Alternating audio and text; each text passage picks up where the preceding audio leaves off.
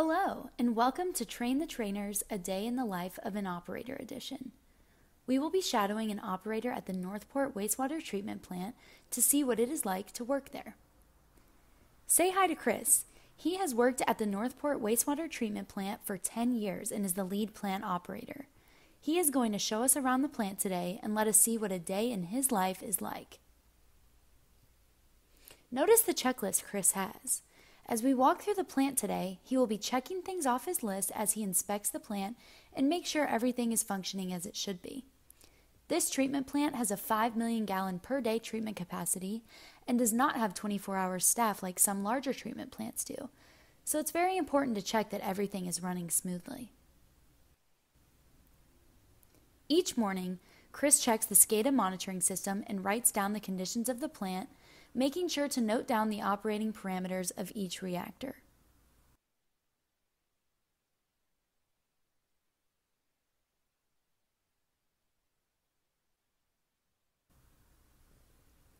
Chris also checks for any alarms that may have been set off. It looks like one of the post aeration controllers at the plant is giving an alarm for high temperatures. Chris will check this out later as he walks around the plant.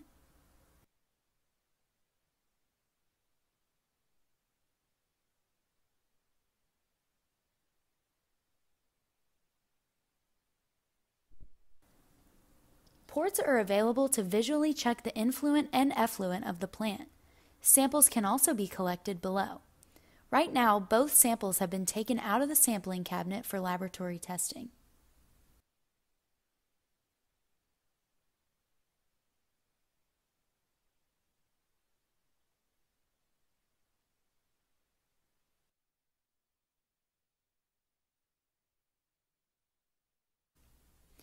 In the electrical room, it is important to make sure the plant is receiving the power it needs to keep all of the electronics and machinery at the plant running.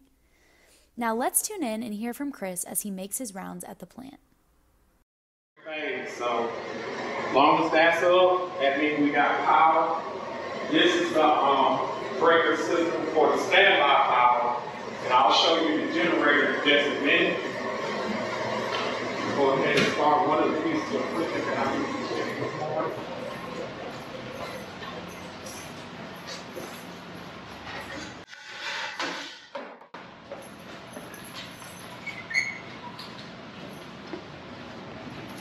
And this one of our standby generators.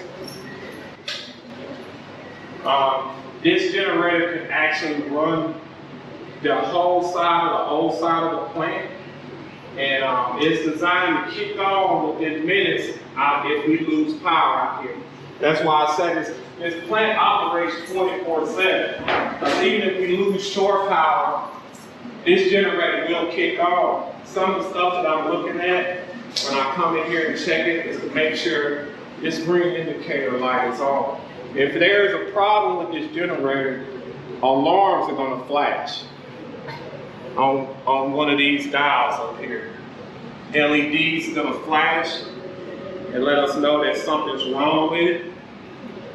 Um, these generators exercise once a week. Um, on Thursday, they turn on around noon, and they actually put full power on, keep these generators functioning properly. Because if you just let the generator sit up, it won't work when we need to. And I go around, I check the hoses, just do a visual check. I mean, it's gonna stick out like a sore thumb if something's wrong out here because you'll see oil or any kind of other lubricant um, on the ground in here, check the oil level, check the fuel level. Just in case something ruptured out there, this is an old analog fuel meter. Uh, and once I'm done with that, I check it off on my list. Now, I can check off as I go, what I usually do, if it's not something that requires me to record, I don't check it off until later. Everything checks off good in here, so I go to the next area. And this is our newer area.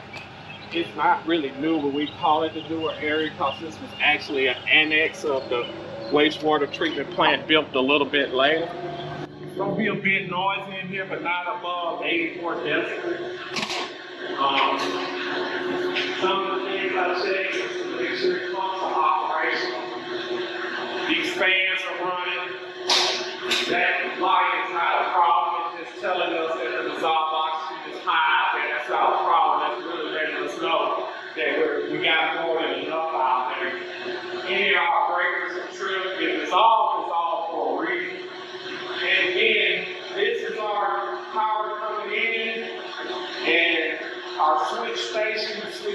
generated power. So this is actual power coming in right here. If we have an emergency, we can switch over this, and it'll run it the same way it would if we had shore power.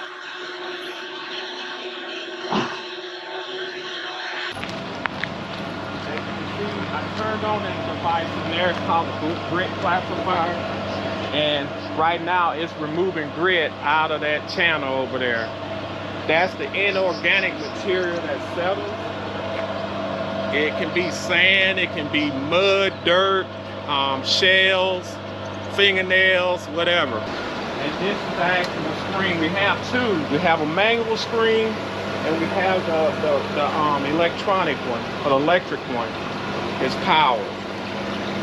And what it does when this flow gets high enough, it's gonna rake those rags.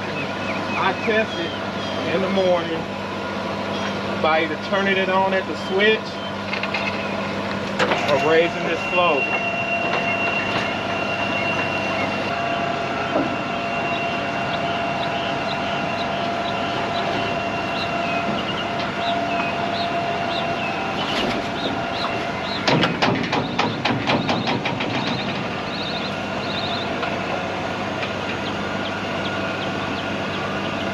As you can see, it, it pretty much get off of there. Um, it's a lot better than, doing it manually with your hands. In the event that this thing is not functioning properly, we would have to actually go over here and rake it off with this rake off of that manual screen right there.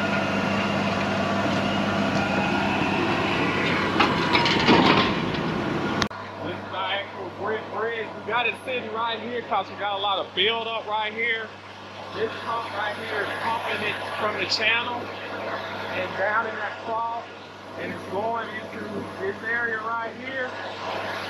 And the classifier is over there. That was the device I was showing you earlier. It's actually using centrifugal force and it's spinning it around and it's getting the heavier stuff, of course, and it's dropping it down in that pan. As the water recycles through, it comes back in this trough and it goes through the process again, and it continuously goes until we get as much possible out of this water before we send it to the next process. This is our first weir, and as you can see, this is our raw wastewater coming in. It's been treated a little bit. It's been settled out, and it's been it's been screened, and you see it's being the, the inorganic material is being pulled out, but it still has suspended material in it. It still has a little fats, oils, and grease. We we floated that down to the end to that auger right there, and now it's going into the primary treatment process. It's going to spit off, go to the sewer side, which we're going to look at later, and then the original on the older side. Those basics hold probably around a million gallons basin, and I believe this from here holds three million.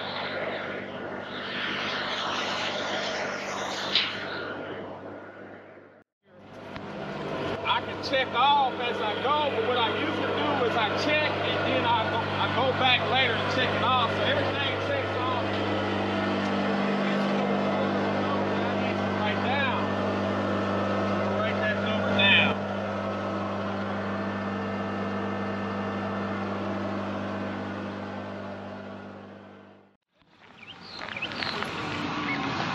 And I'm gonna pause right here and kind of backtrack a little bit. At this plant, we do A to Z, meaning we do anything from groundskeeping out here to operating equipment to chemical feed to mechanical operations to biological operations out here. And we have to know how to do this stuff really well. And these guys have been trained pretty well to know we have events at the plant of how to respond to them properly and get the things resolved. The, the wastewater feed splits right up here. It comes, some of it comes this way. And what we do, we monitor how much goes into there. That's called an oxidation ditch.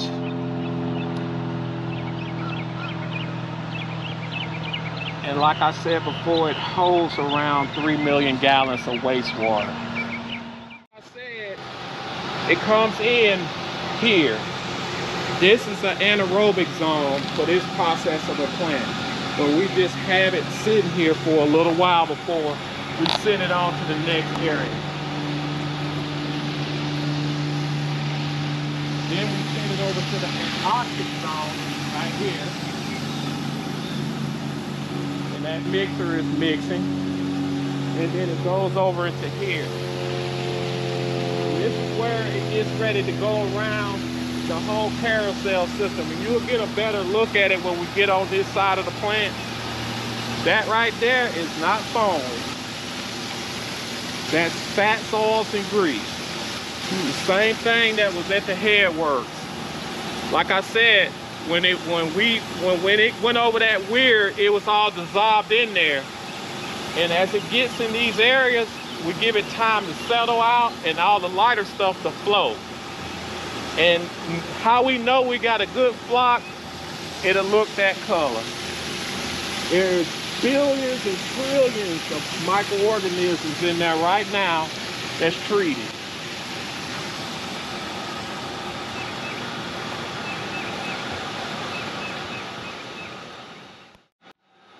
To make sure that I know that this right, I've been here for 10 years. So I can just about tell by the smell and the sound that everything is functioning right.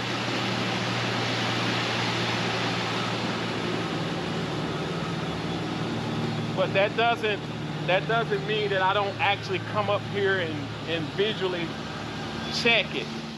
We're having issues over here, like I said this morning. This this happened. What it is, we got an area that's clogged up and I cannot get the flow. Right now we got our two operators out here trying to pump this wet well down. Yes. How's it going? Is it pumping down? It's going very slow. You might have an idea. Uh, we were running by you first before we tried to do it What you wanted to do? because we're not able to get it to go through the RAS. We're getting only about 25 a minute on the waste. Is it possible that we can try switching over the leads, blowing out a little bit, so maybe we can at least get enough going? Talking about getting the air lock out of it and just sending, pushing it back into the clarifier and then pulling it back through. Well, it, it would have pushed it back into here. Yeah, ish, yeah. So it just tried to get a little something loose, then maybe it'll pump a little bit faster. Yeah, if you comfortable with, with messing with the power that way, you can do that. Just make sure you isolate it. If uh, if you do get a minute, uh, I was gonna have you uh, look in the panels just to make sure, because I have not personally changed over the leads myself. Okay. I don't want to screw it up anymore.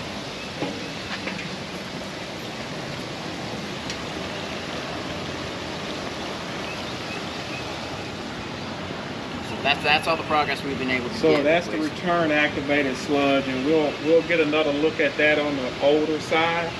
It had gotten so thick because one of our pumps clogged and um, we can't even get this to pump down. What we need to do is we need to pump it down. Do you see where that chain is? We're gonna hook that chain up to this this um boom on I mean this crane lift system on this boom truck, and we're gonna pull this pump up. And it's gonna be sort of like that one. We're gonna take it, we're gonna unclog. The significance of me telling you about this is people have to be mindful of what they put down their drain. Everybody think when they flush stuff, it just goes away. But what ends up happening, people like us, we have to come out here and actually unclog it. Um, any sanitary wipes that's made out of a more of a I can say a clothy material that doesn't biodegrade, you don't need to flush it because what it ends up doing is stopping up in these pumps. And we have to come out here and get one of our operators in a biohazardous condition to unclog them. Now, we know that's part of the process, but if, if this if me passing this information to you would make everybody more aware of what they flush, and reduce it 10%, that'll be a lot more off of us. But everybody seems to think you can flush anything down the drain and it's just gonna go away. No, it ends up here. And then uh, ultimately, it still ends up at the landfill. It's just you didn't flush it down in your future drinking water. Because that's what all your water is, is reclaimed water from when you use it. We treat it and we send it out to the lake streams and estuaries then someone downstream collects it and use it for drinking water after they treat it through the water treatment process. Anytime any school, university, uh, somebody that pays bills here in the city of Northport wants to come out here and get a tour of the plant, they don't need to just show up. But what they need to do is make an appointment with one of us and we'll give them a tour. And it doesn't take a basic tour doesn't take no more than 15 minutes. Um, a detailed tour what we're doing now is going to take a little bit longer because i'm trying to explain to you some of the processes that we're dealing with out here Be careful.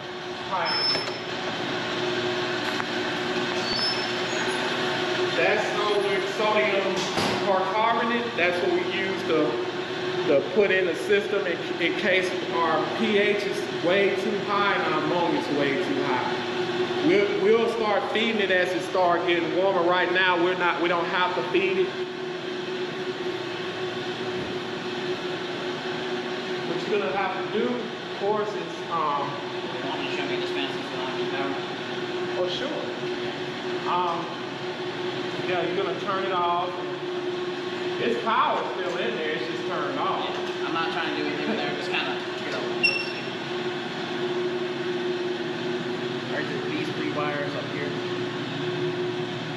You can change either either one of these three wires here. Wherever it's at L, one through three, you can switch them around. And you should be able to reverse that pump. But um, if not 100% certain, because you see all these other devices that this thing has got in here, that's control, we're controlling with it, go in there, we can get the superintendent and get him to work with you.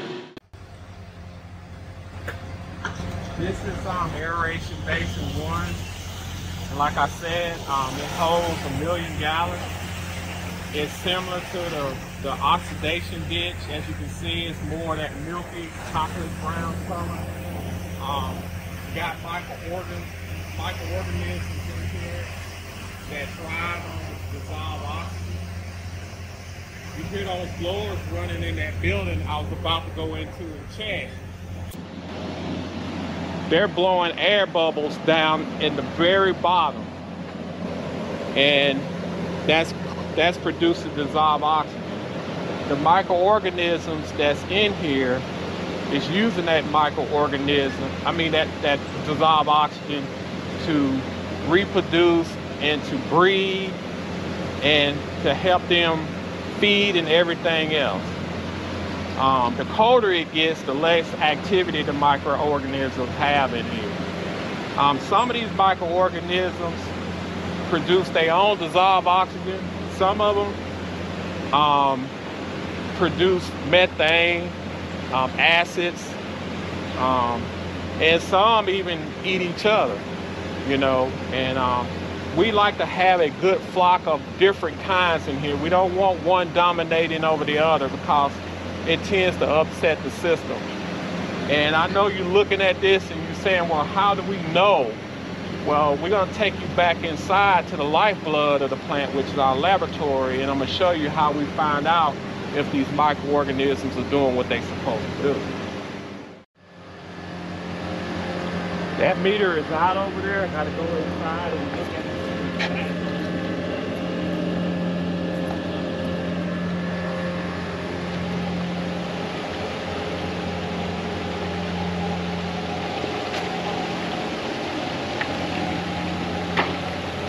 This is our scum pit, and as you can see, it's all kinds of stuff going on in there. Scum is just like the, the everything else that floats. It's part of the fats, oils, and grease and inorganic material. Like I said, in this clarifier, the heavier stuff settles, the lighter stuff float, and as you can see, the squeegee is going across there and it's getting all of that stuff that float and it's skimming it all. in our in our efforts to make sure none of that stuff is being sent downstream that's how we get it off of there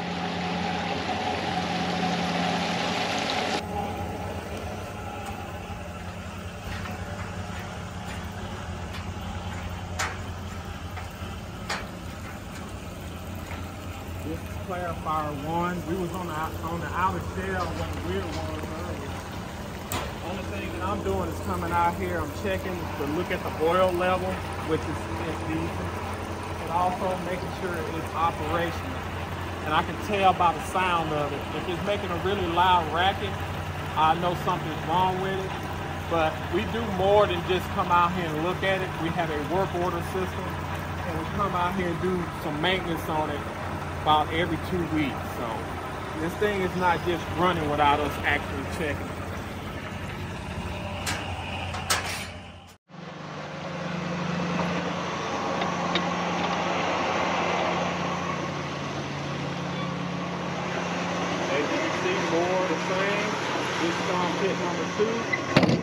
Purpose of me opening those up is to check and make sure they're not overfilling because they're using float systems to operate these things.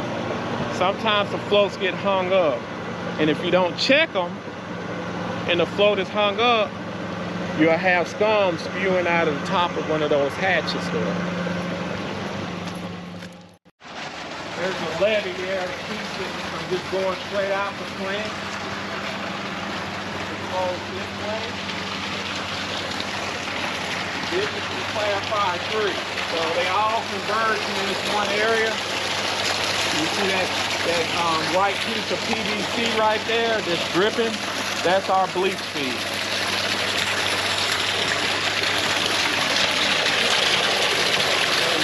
I'll explain when we get back inside um, from our laboratory analysis of how we know we're feeding the right amount. As it converges together, it goes into what we call a contact chamber. This contact chamber is engineered with detention time until it reaches the end over here. So to make sure that what's coming in here is being disinfected.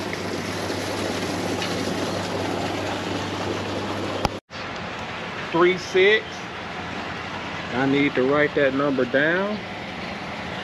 Can barely see it, so this is. Due to safety purposes, you cannot come over this wall. Sorry, but you can film me over this wall. I'm just checking to make sure the bleach pump is feeding is not leaking anything. The actual bleach pump system is in here. It's feeding from one of these two tanks. It's self-explanatory really which one is coming from. Whatever valve is open is the one that is feeding from. It's, that's tank number two is feeding out of tank number two. As you can see, we're getting about to the end. This is the back side of the contact chamber. This wastewater should have been pretty much disinfected by now. It's still got a residual chlorine. We want it to be about 0.5 parts per million before we get it to the very end. This is what we call our post aerator, where we induce dissolved oxygen back in it, because we have to have so much dissolved oxygen in our effluent before it goes out to our lake streams, estuaries, you know, littorals or whatever. This is our final weir. It should be some residual chlorine in here, but we have a dechlorination system by the form of sodium bisulfite, which is going to neutralize this chlorine. And how do we know it's neutralized? We run laboratory analysis to know. This is my very, very last reading that I can get, and that's the effluent meter. I get the reading from the previous day. Effluent flow meter. This is our sodium sulfite building. And I just look to make sure everything is functioning. This meter is off, so I'm gonna write that reading down, but I'm gonna circle it to let everybody know it's off. And as long as it's feeding, which it is, it should be 1.025 out. And it becomes what they call waste activated sludge. And when it dries up, it becomes a biosolid.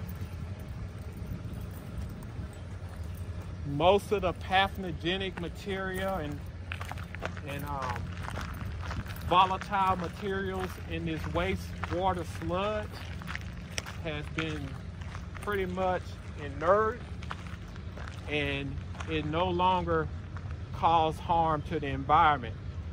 We can't scoop it out right now when it's wet like this and apply it to the land.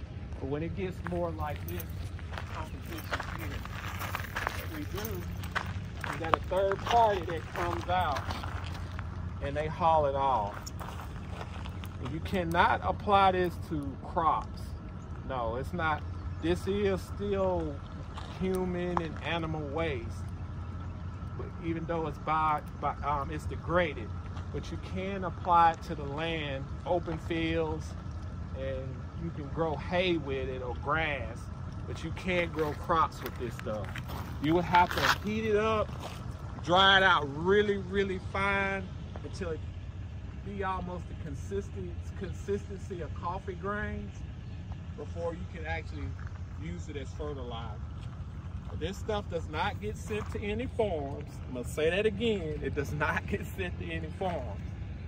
We have a, a hauling crew that comes out and they haul this stuff off to land apply it. Even our collections people use this bed right here. We repurpose this drying bed to capture everything ungodly that comes out of the headworks and everything that comes off of these pump stations. And as you can see, it's all collected right here.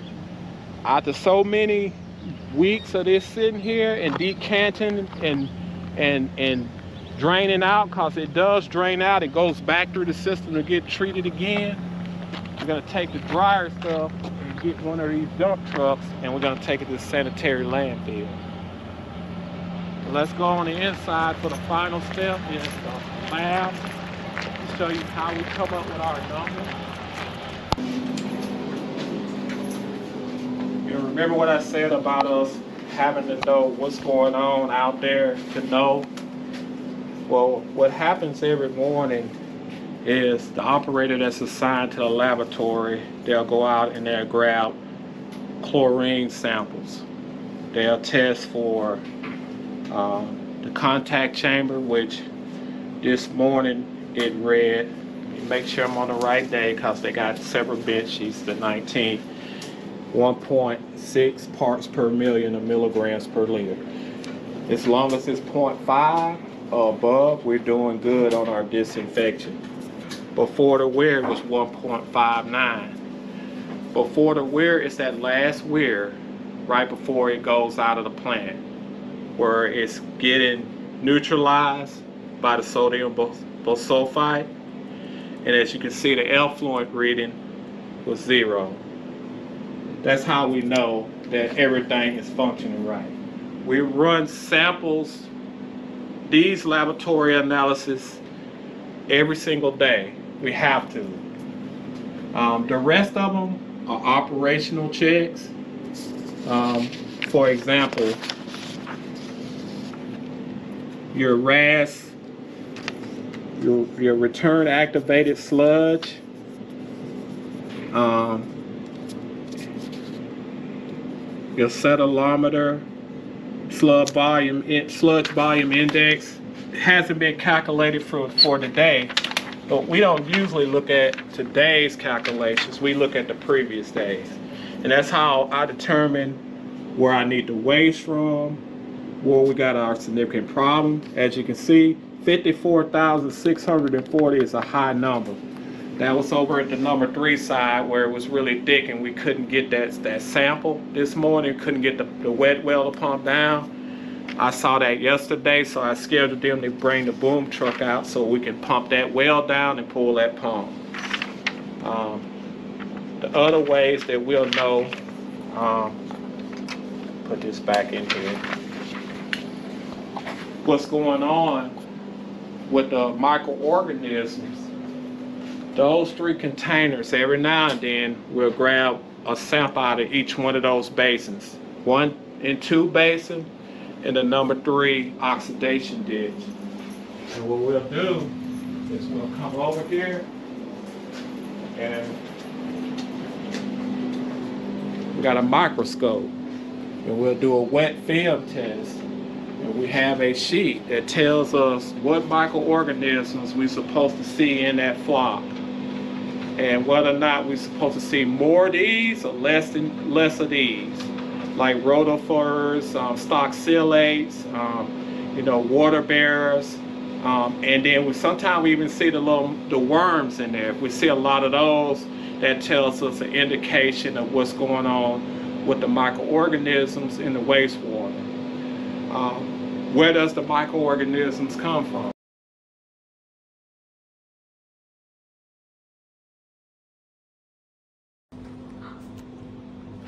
Already have enzymes coming out of our bodies, so sometimes we induce more enzymes. Usually it's being induced by the collectors that's going around here to the pump stations.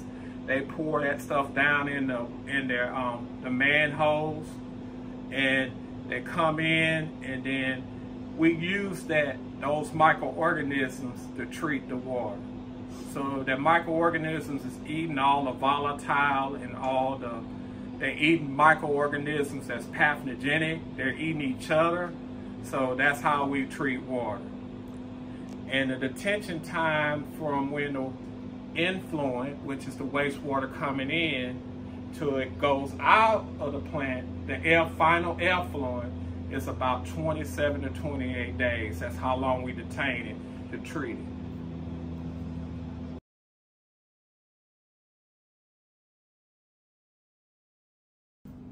It's important when uh, older generation operators like myself who have operated since its beginning retire I stay around to help with training of the newer operators, the staff, because there's a lot of knowledge goes out the gate when an operator retires. And the younger ones don't quite know everything yet because with the experience, you pull up to the gate, you know exactly when the plant's not functioning like it should. There's certain things you learn with experience just to detect with sight, sound, and smell.